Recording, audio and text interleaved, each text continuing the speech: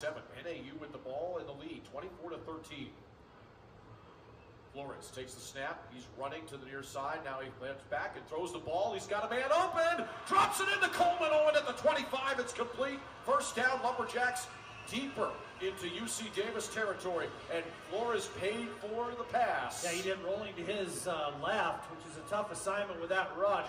Throws it up there. Coleman Owen had uh, got behind the defense, fortunately, which allowed time